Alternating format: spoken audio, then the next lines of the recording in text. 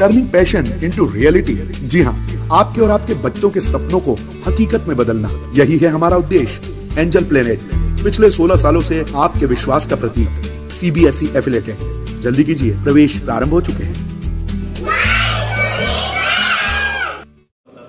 मध्य प्रदेश के खंडवा के बड़गांव भीला रोड पर हैदर पिता अनवर नाम का एक युवक जो भोपाल से अपने ससुराल में आया था, उसने पुलिस को यह बयान दिया था कि उसे कुछ अज्ञात लोगों ने रोक कर उसका नाम पूछा और उस पर हमला कर दिया, उसे घायल कर दिया, जिसके बाद वह हॉस्पिटल में भी भर्ती रहा और दो घंटे बाद उसे होश आया। पुलिस ने उसके बयान लेकर पड़ताल शुरू की। तो आपको बता दें, पूरा मामला फर्जी निकला, हमने आपको कल ही बता दिया था।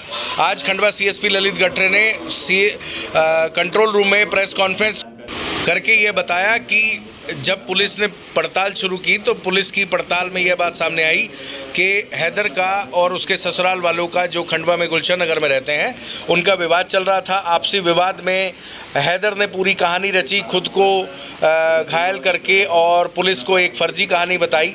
पुलिस की पड़ताल में यह फर्जी कहानी सामने आ गई। पुलिस ने आपको बता दें, इस मामले में उस पर प्रतिबंधात्मक कार्रवाई की है और आगे समझाइश भी दी है कि अगर उसने भविष्य में ऐसा किया तो उसके खिलाफ आगे और कठोर धाराओं में कार्रवाई की जाएगी। फ़िलहाल उसके खिलाफ प्रतिबंधात्मक कार्रवाई की गई है और उसे हिदायत दी गई है और सभी को हिदायत दी गई है कि पुलिस को गुमराह करने के लिए और इस समय तो आपको बता दें, खंडवा, खरगोन, निमाड़ में पूरे हाई अलर्ट पर पुलिस है छोटी छोटी घटनाओं को सीरियसली ले रही है।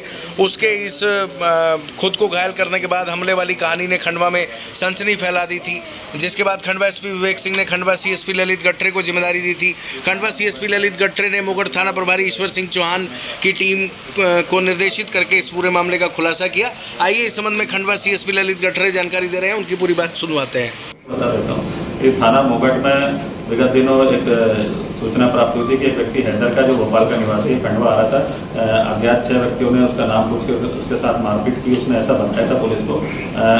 ऐसी जानकारी मिलते ही थाना मुगट की पुलिस घटनास्थल का निरीक्षण किया और उसके शरीर में जो चोटें कारित हुई थी, उसको भी हमने गहनता से उसकी मेडिकल जाँच कराई, जिसमें यह तथ्य सामने आया कि वो व्यक्ति उसका पारिवारिक विवाद था, उसके ससुर से और उसकी पत्नी से पैसे के लेन को लेकर। और उसने इसी के एवज में स्वयं को चोटें कारी थी और पुलिस को भ्रामक जानकारी दी कि कुछ अज्ञात लोगों ने मेरा नाम पूछकर मेरे साथ मारपीट की।